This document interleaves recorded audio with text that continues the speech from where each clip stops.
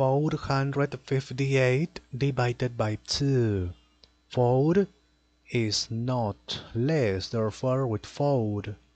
2 multiplied by which number is nearest to 4 but not greater 2 multiplied by 3 6 6 is greater 2 multiplied by 2 4 is not greater. Okay.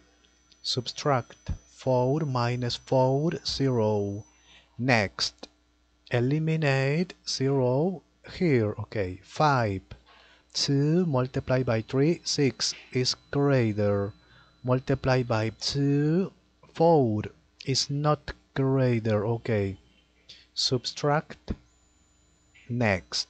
18 2 multiplied by 9 18 is not greater. Okay. Subtract 0 next.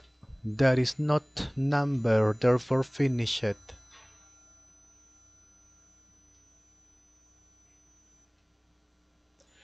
Okay.